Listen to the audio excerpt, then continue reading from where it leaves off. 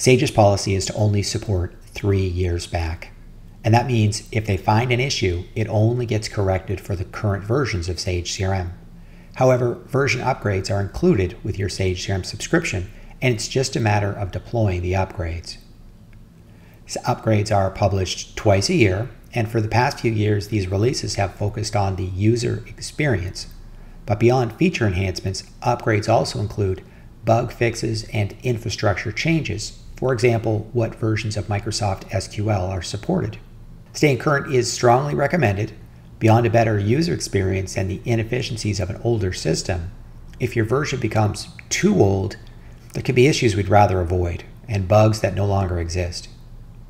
On the upgrade page of our website, we provide high level summaries for each of the last several upgrades and include hyperlinks to these release notes.